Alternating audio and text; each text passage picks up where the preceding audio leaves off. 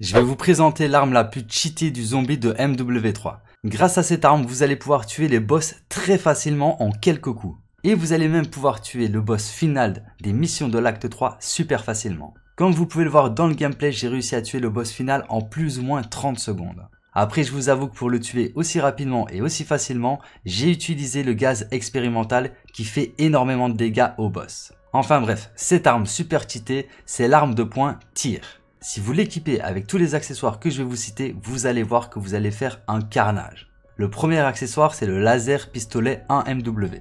Le deuxième accessoire, c'est le canon long et lourd Ziu 16. Ensuite, dans les munitions, vous mettez le Snake Shot 12,7 x 55 mm. Pour la gâchette, vous mettez la fureur Dul R. Et bien entendu, très important, en poignée arrière, vous mettez le tir Akimbo. Ça vous permettra d'avoir deux guns super puissants et faire deux fois plus mal. Ensuite, vous améliorez cette arme au niveau pack a punch niveau 3. Vous la mettez en rareté légendaire. Et là, vous allez pouvoir tuer n'importe quel boss super facilement. Même le boss de la tempête aura peur de vous avec ces armes. Donc voilà, n'hésitez surtout pas à me dire ce que vous en pensez de cette arme. Et si vous connaissez d'autres armes super cheatées, n'hésitez pas à le dire en commentaire.